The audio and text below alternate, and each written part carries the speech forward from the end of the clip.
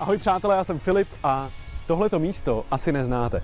Jsme v pražských Řeporích před legendární hospodou Užbánků a tamhle kousek je městský úřad, kde mají nového starostu.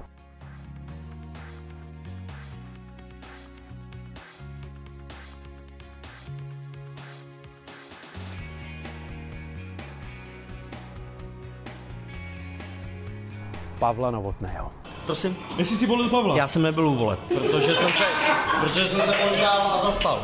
Ještě jednou? Protože jsem se ožral a zaspal. Hlavně říkal, do poslední chvíle říkal, že neví, jestli ti bude, bude volit, že se vole vždycky zklamal. Taky ty kamarádi, ty vole, ti vždycky pomůžou, ty vole. Já tady musel volit seniory, ty vole, u, u, uprosit, ty vole, seniory, vole. Že kamarádi se mi vysrali, no nic dobrý. Já, no. A ty si volil Pavla? Jenom Pavla. Jo? Volil jsem ho vždycky, když byl eh, na kandidáce, tak jsem volil Pavla. Ty ty studenti z filmové školky ve středních odborných, Dobrý. ty vole. A ty jsi nějaký studoval vyšší odbor. Jo, no, dobrý, vole. prosím. Tak můžu? Tak přátelé, tohle je Pavel Novotný, Mě nemusíš představovat, prosím tě, oni ví, kdo jsem. ale já bych tě Sebe, rád, sebe představ. já bych tě rád představil, protože jsem si tady napsal jakoby body k tobě, co ty vlastně seš. Krásně jsi to napsal. Takže, Pavel Novotný. Playboy. Někdy, Playboy samozřejmě. Ale někdejší legenda streamu, Ano, kde jsme se to před, jsem, děkuju, že to řekl, konečně to řekl, ty. Ano. kde jsem tě před deseti lety poprvé zaznamenal jako videoblogera. Kde byl Kazma v té době, veď, ještě na ty vole. Ano, Přesně ano. tak. Takže já jsem eh, slíbil, že vám dám možnost teda trefit ve, ve, vejcem největší evropskou celebritu. A tady se vámi stojí, ten nadevší pochybnost samozřejmě. A pak tady mám Hlavně říkej bývalý král bulváru, ty vole. Král bulváru prostě. bývalý bulvární novinář, pokrový hráč, skalní fanoušek Slávie Praha, protekční fracek, otec a momentálně starosta tady v Já Řeporích. to si řekl moc pěkně. A neříkej bývalý bulvární novinář, řekni novinář. Tak, dobrý, můžeme. Ale v bulváru si byl. Byl jsem bulváru, ale jaký bývalý bulvární novinář? Jsem novinář. A když jsem byl, tak jsem byl šéf redaktor. A vůbec, a, a jsem král bulváru jsem byl. A teď jsem prostě vlastně král bulváru a na odpočinku. A co jsem zapomněl teda ještě? Fotbalista, ne, vlastně na nic. Vlastně, vlastně opravdu jako na nic. Trošku si zapomněl na moji jakoby fyzickou krásu, ale jak to odpouštím. Takže kulturista ještě by se dalo. No, jsem, no ne, krasavec. Prostě krasavec. Jsou lidi oškliví, jsou lidi hezký. Já patřím těm hezký. Jsem hezký kluk, no, tak. Playboy, no. Bulvár řešit nebudeme, Ano. ale zajímalo by mě, jestli by si na začátek měl nějakou super special bulvární kauzičku, kterou když tady propálíme, tak to jako uvidí hodně lidí. Pořadu Mise Nový domov je falešný stavy vedoucí, který má těl manželku a seděl. Je to pingl, který krade v hospodách a není to žádný stavby vedoucí. Bude to brzo velký skandál, Filipe. A víš, co to nebudu bavit, já jsem starosta, jenom chybí pohodě čas. Ten stavby vedoucí s tou perderovou je falešný stavby vedoucí. Vím to jenom, já jsem odborník na falešný různý manažery fotbalově. Je to falešný stavby vedoucí a falešný pingl a falešný vrchní. No tak takový životopis psát, to musí být radost.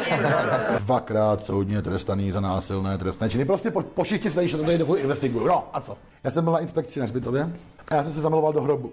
Tak jsem se ho koupil. Až umřu, protože prostě matka chce být v Poleni, na chlopě otec chce být na židovském hřbitově v Olomouci a já jsem se rozhodl, že prostě mám se prodat, že to bude mít hrob. Já jsem si koupil hrob. Prostě z hrobového místa pronaj, pronajímá jenom starosta. Že smlouva vypadá takhle. Takže sám sobě si si pronajmul hrob. Sám sobě jsem pronal hrob, jsem podepsaný na obou stranách té smlouvy, což je neuvěřitelný. Jo? Po tom, co jsem tady kritizoval zastupitele jednoho, že si pronajímal sám sobě tady obecní budovu, tak jsem po týdnu ve funkci jsem sám sobě pronal ko- hrob. Hezký, vy to je smlouva, věděle. A chtěl jsem si dělat nějakou recesi s tím hrobem. Víš, co tam napsat třeba nezávislý, jo, na to nebo víš tady. Ale pak jsem si uvědomil, že jsem starosta. A není to rouhání tohle ty vole? Ne, koupit si hrob rohání už není.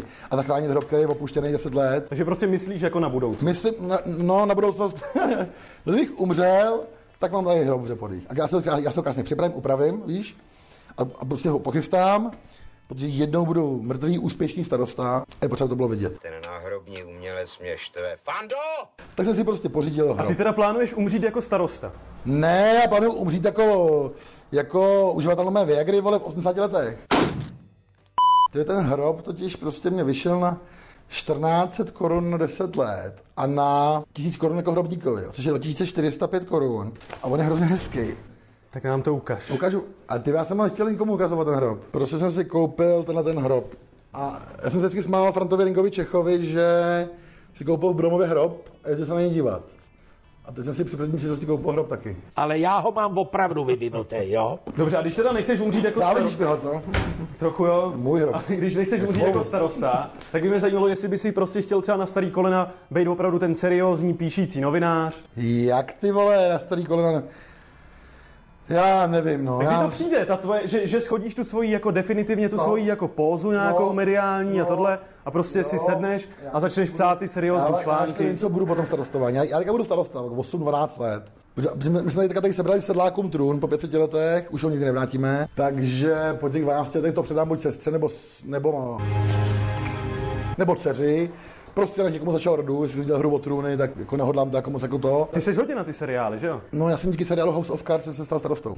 I will not be lectured to the moment you walk in the door. Kolik teda procent z toho tvýho úspěchu má tenhle seriál? Seriál House of Cards, nechci, abych nepřáněl, určitě 30-40% podíl na to má. Uh, seriál House of Cards začíná tak, že Frankovi Underwoodovi vlastně nedají ministra zahraničí a on se rozhodne, že bude prezidentem. A mě tady před dvěma rokama uh, něco provedli a já jsem tady měl videa, v zastupitelstvu jedno jediné křeslo a dva kamarády v opozici. Proti nám stal osmičlený opoziční blok zdejší tradiční hlavní strany, která se zdala být neporazitelná stále tady vodek živa. A v této situaci jsem se rozhodl, že budu starostou. A podle seriálu House of Cards jsem začal vlastně diskreditovat jednoho člena za- za- za- zastupitelstva po druhým, jako legitimně. Jsem se na každý něco našel, někteří byli moji přátelé, uh, začal jsem to publikovat a protože jsem si uvědomil, že jsem, že jsem velmi neob- neoblíbený, tak jsem vlastně nejprve za, začal jakoby dehonestovat jakoby svoje soupeře politický a ukazovat jakoby obci, co jsou vlastně zač, snižovat jim popularitu. A když jsem asi tak po roce, po roce a půl měl pocit, že se mi to jako daří, tak jsem se hodil jakoby do, do pohody, jsem s válčit a připravoval jsem svoji vlastní kampaň, kterou jsem postavil na, patrioti, na patriotismu prostě a dal jsem prostě najevo těm lidem, že tady udělám pořádek. A to už jsem byl zakázaný v žeporeckém echu, což mi strašně pomohlo, děkuji hrozně moc. E, přesně jako Frank Underwood, mě zakázali psát do echa žeporejského, ale třeba po půl roce už by tam asi- asi psát mohl. Ale já jsem si nechal tady tu, tu, tu zakázanou auru, to vyhovuje být zakázaný autor. Jsem tady vylepoval letáky po vesnici, že jo, zakázaný článek, to bylo super. No a pak jsem tu vesnici celou obešel pěšky. 900 schránek, 79 ulic se svým volebním programem. No a sestřelil jsem je, vydal jsem tady volby. Frank Underwood by jenom pokýval hlavou uznal, udělal by. A jak se to teda povede tomu praseti Pavlovi Novotnýmu, který ho nikdo nemá rád? protože takže podích nejsem prase Pavel Novotný, že jo? Takže podích jsem tím opravdovým Pavlem Novo- Novotným. E, moje, moji přátelé, moje okolí samozřejmě moc dobře ví, že já mm, jsem recesista, že jsem si vlastně uměle vybudoval e, tu image na prostýho hovada. Já v civilu mluvím pomalu, vypadám normálně, chodím normálně pro děti do školy, už jsem v ní mohl být, kdybyste mě nezdržovali. A lidi samozřejmě neví, zároveň třeba v Řepory, že jsem jenom, že to prostě předstírám všechno. No. A kdy to začalo celý tohle? Jaký jsi byl třeba ve škole? Normální, inteligentní, sympatiák. Ale potom ve, ve 20 jsem šel do bulváru a jak jsem co byl o tom spy, měl v té reality show, tak tam jsem prostě začal jakoby, jako řádit. Ale já jsem já, já, já normálně skončím, jakoby, nebo se dofotím nebo do, do natáčím. A jsem úplně normální fotr od rodiny na vesnici. A to nikdo nesmí vědět. Oni prostě ví, že já budu kopat ve řepory. Oni ví, že jsem jejich, že? jo. A jak by si popsal teda normální S den? tím stylem, kterým drtím krystalovou řepkou, budu dr- dr- drtit vole soupeře řepory. Jenom dobře. Svůj normální den vypadá tak, že se tady sednu, vemu do ruky razítko a propisku a 400 papírů razítko a 400 papírů po- podepíšu. A nezahodil si trochu svůj potenciál? Tím, že si vlastně si vybudoval tehdy nějakou tu svoji pózu? Ne, já, můj potenciál je změnit řeporie, můj potenciál je chytnout Marka Víta, musím udělat taky nějaké správné věci, že jo. A a nic toho jsem nezadil. Jaký potenciál? V bulváru si nám co Ne, jako, ukazovat. že si mohl být za hodnýho kluka, který píše prostě skvěle. Jako... Ne, to jsem nikdy být nemohl. Já jsem byl vždycky za bulvární píču. Vždycky ne. Ne, nepřerušuji mě, na takovou starost na to nejsem zvyklý. A díky tomu tyhle tý práci, kterou jsem získal, budu za hodně kluka. Já si teďka vylepšuju mediální obraz. Velmi dobře. Sleduj ho. Pojď se krystalovat, jde dolů, já jdu nahoru. Ale tak jako pro boha. A myslíš, že teda to, ten, ta tvoje funkce starosty byl první krok k tomu, aby se ti ten mediální obraz vylepšil? Už se dá, dá, dá, dá, dávno vylepšil. Protože za- zatímco do té doby chápali, že to je že jsem chytrý kluk, jenom inteligentní. Já to chápu, já, mě to nevysvětluji, to říkají čtenářům parlamentních listů. Už mě nepřerušuj. Tak teďka, jak jsem starosta, tak už i průměrně inteligentní lidi pochopili, že to není normální, že mě tady zvolili. Že to není, to není možné, aby mě pět tisíc lidí, vole, takováhle mě, obec, aby zvolili úplně debila. No samozřejmě kreténi a hovada, že jo, ty samozřejmě netuší pořád. Ty jsi vlastně mluvil o důstojnosti, Jo, kterou, která přichází vlastně s tím, Ano. s tou tvojí funkcí starosty, přichází důstojnost. V čem spočívá ta důstojnost? Já jsem důstojný starosta. Když jsem přijde nějaký občan, tak já jsem důstojný starosta. Nevy, ne, ne, nevypadám jsem jako důstojně. Tak ukaž nám, jako, tak když by přišla tady babička eh, řešit, že prostě bych chtěla hro, Babičko, to jsou pičoviny na tom internetu, co? To vysílají dneska, no. no. Mě každý rád vidí, já působím seriózně, každý ho pozdravím, přivítám ho tady na té radnici. Jsem nejserióznější starosta v Praze. Filipku. Je to tak prostě, no. A tady, a tady, z toho udělám úřad, který prostě slouží lidem. Já jsem nechal otevřít už ve čtvrtek. A tady ty piráty a my tady uděláme transparentní radnici, která bude servisní organizací pro ty lidi tady. A z- udělám tady pořádek. Ty dementní eh, provozovatel těch ubytoven vyženu, vyženu, pochytám ty hajzy, ty, ty, ty černé skládky, ty sprejery, už jsem pořešil. To, to, to ani můžu říct, ty už jsem pořešil. Jak jako? Neřeknu ti to. Já jsem totiž zjistil, že, že, mě volili, že mě volili důchodci, seniori a starý lidi. Tak jsem se podíval, proč ty lidi volí toho babiše. Jasně, že vole, on jim dá to jízdnícký a ty důchody, ale ve skutečnosti lidi mají rádi pořádek. Teďka dělám pořádek, že prý. Takže trávu před hospodou už nehulíš. Před hospodou už ne. Jinde ano. Co máš dál, Filipe? Jaký místa jsou teď? Já, já teď nemůžu kouřit marihuánu, protože ten mandát máš pořád. Já musím být uh, při smyslech, kdyby nastalo krizové řízení. Takže na, ta- takže na verandě většinou sám doma, no.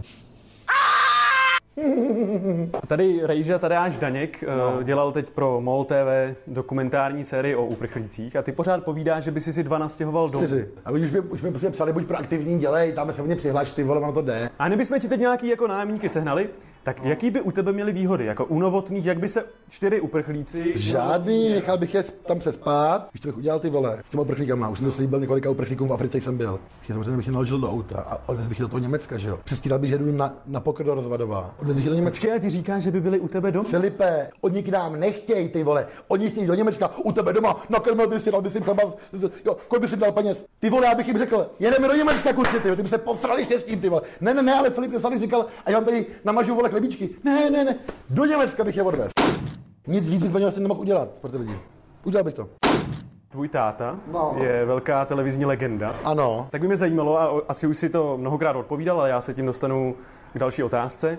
Jak to vnímal, tu tvojí, ty tvoje eskapády vlastně z show businessu? On to nekomentoval skoro vůbec. On to prostě nekomentoval. Otec je syn židovského obchodníka, že otec vždycky viděl faktury. Stream prostě. Já jsem vždycky, co jsem do toho showbiznesu vlítnul, tak jsem se vždycky tím vydělával tím showbiznesem. Někdy pade, někdy 80, ale furt jsem se tím vydělával. Otec kroutil hlavou nad tím. No, to teda.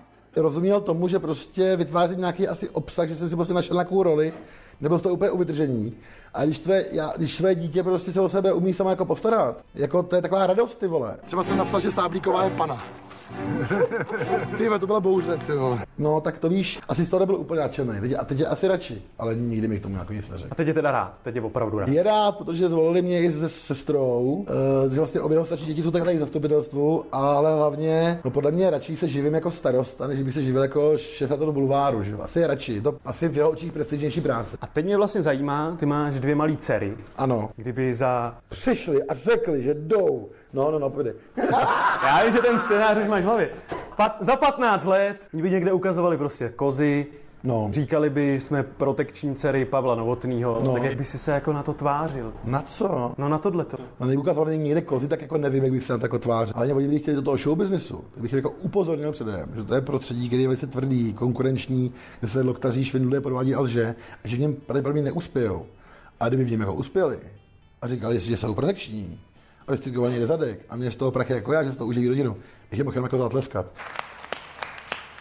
Ale moje dcery mm, budou starostky a e, závodní šachistky a takovýhle budou povolání budu studovat teoretickou matematiku a budu se smát pitomcům, že jo, jako... No nic, dobrý, no, takže, takže, tak, tak, tak, takže tak, tak, takhle, já jim bránit takový ni, ni, ni, ničem nebudu. Mě, mě zajímá, aby nefandili Spartě. To je jediný, před čím je budu bránit. Jinak před ničím. A na co jsi v životě přišel, Pavle Novotný? A co jsi v životě přišel? No, že musíš prostě, klíčový je stát nohama pevně na zemi a dívat se ke hvězdám. Vždycky si stál pevně nohama na zemi? Ne, nikdy. A opravdu je možný naprosto všechno. Když chceš, nejsi, ani si píčalína, můžeš s vadou řeči, vole, moderovat, vole, živě, vole, v prime timeu, můžeš se stát hvězdou, můžeš, můžeš všechno, můžeš stát starostou, ty vole, doma, kde nejsi nikomu, můžeš všechno, ale musíš pičo, vole, chtít, vole. To mít naproti. Musíš být chytrý kluk. A teď si teda mnohokrát řekl, že teď jsi teda ten starosta. Mm-hmm. Jaký jsou ty tvoje priority? Co by si tady za ty čtyři roky chtěl změnit? Neobkecávej, řekni to v bodech. Je to napsaný, je to napsaný v bodech koaliční smlouvy, slyšeno změním, zabráním výstavě třídění komunálního odpadu, e, změním tady systém dopravy v Řeporích tak, aby se prostě e, zprůjezdnila, vybuduju tady centrum pro seniory, otevřu ten úřad lidem, udělám z něho transparentní radnici, otevřen, otevřenou servisní firmu pro své zákazníky. Úplně změním jakoby charakter fungování toho úřadu. Už jsem na tom za, začal pracovat. Vy, vymítím tady odsaď provozovatele e, černých ubytoven, udělám tady prostě pořádek. No, budu velmi úspěšným starostou. Tak já za čtyři roky přijedu a bude mě zajímat, jak to dopadne. No to už tak bude jenom zlatý, nový, no však uvidíte. Všechno nový, krásný. Jo. Tak jo, tohle byl Pavel. Nazdar, už je to do prdele.